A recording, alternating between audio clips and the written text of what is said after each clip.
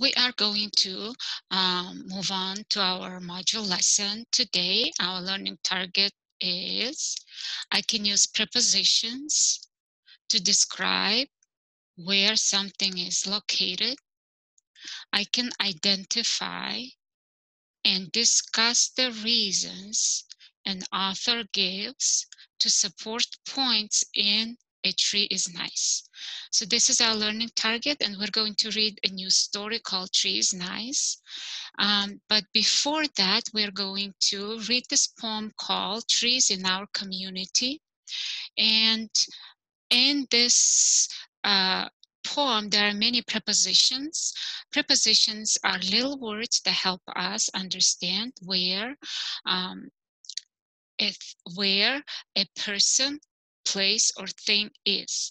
So I want you guys, I'm going today, I'm just gonna sing and you guys listen and find preposition words that is going to help us to understand where are trees in our community, okay? And we're going, I'm going to sing to Twinkle Twinkle Little Star, to the tune of Twinkle Twinkle Little Star. You guys can sing with me if you would like. Oak tree, oak tree in the park, see the ants crawl up the bark. Willows grow beside the stream, they keep water clear and clean. Maple, maple near the street, leaves change colors, it is so neat. Quaking aspen outside a home keeps it safe from wind and storm. Paper birch trees on the path use a stick to draw and scratch. Trees in our community give the world joy and beauty. Find a tree and then you'll see how lovely and helpful trees can be. So this is our poem and we're gonna find next time all the prepositions in this poem, okay? Until then, you guys can uh, go back and sing the song with me and try to find those prepositions and we're going to also now read the book, A Tree is Nice. And our learning target for that part is I can identify and discuss the reasons an author, author gives to support points in The Tree is Nice. So we're going to uh, read the story, Tree is Nice, and uh, find out uh, find out the author's opinion um, that trees are nice and we will spend next few lessons discovering her many reasons why trees are nice okay? While i'm reading i want you guys to um, try to identify those reasons. And in that book there will be this sentence a tree is nice because it makes a shade. So this is one of her reasons why a tree is nice. And she uses the word because to give her reason. So that's um, that's a good word to use when you are giving reason why something, why you think, uh, for example, tree is nice. And for your homework, you're going to um, describe where the trees are in your module book. So where do you think the trees are? What can you say? How can you start your sentence? The trees are on the hill right? That's one of the uh, sentences that I can write here to describe the picture.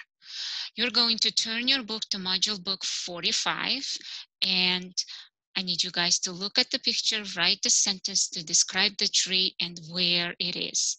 and submit the picture of your completed work on Class Dojo.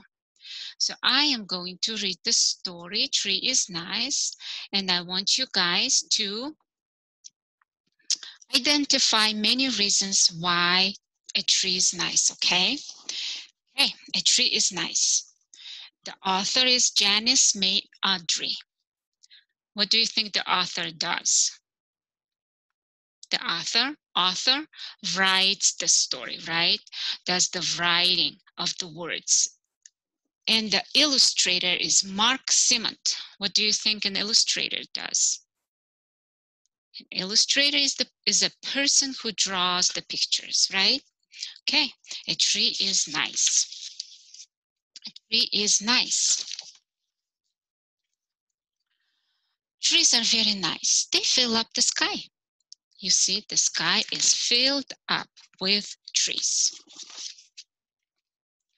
They go, they go beside the rivers and down the valleys.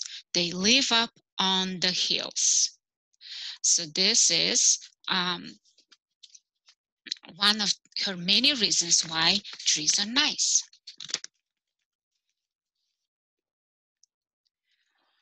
Trees make the woods, they make everything beautiful. Even if you have just one tree, it is nice too. A tree is nice because it has leaves. The leaves whisper in the breeze all summer long. In the fall, the leaves come down and we play in them. We walk in the leaves and roll in the leaves. That sounds fun. We build playhouses out of the leaves, then we pile them up with our rakes and have a bonfire. I wonder what bonfire is. It's a big fire, right? A tree is nice because it has a trunk and limbs. We can climb the tree and see over all the yards. We can sit on a limb and think about things or play pirate ship up in the tree. So this is one way, one reason why trees are nice. If it is an apple tree, we can climb it to pick up the, pick the apples. Cats get away from dogs by going up the tree. Birds build nests in trees and live there. Sticks come off the trees too. We draw in the sand with the sticks. A tree is nice to hang a swing in or a basket of flowers. It is a good place to lean your hoe while you rest. So this is called a hoe. A tree is nice because it makes shade. The cows lie down in the shade, shade when it is hot. People have picnics there too, and the baby takes his nap in his buggy in the shade. A tree is nice for a house to be near. The tree shades the house and keeps it cool.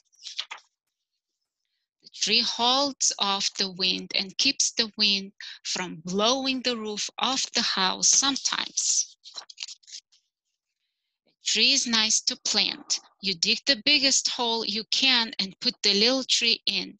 Then you pour in lots of water and then the dirt. You hang the shovel back in the garage. Every day for years and years, you watch the little tree grow. You say to people, I planted that tree. They wish they had one, so they go home and plant a tree too. And this is, this is the end of the story. Okay, guys, you guys know the assignment and see you soon. Bye, guys.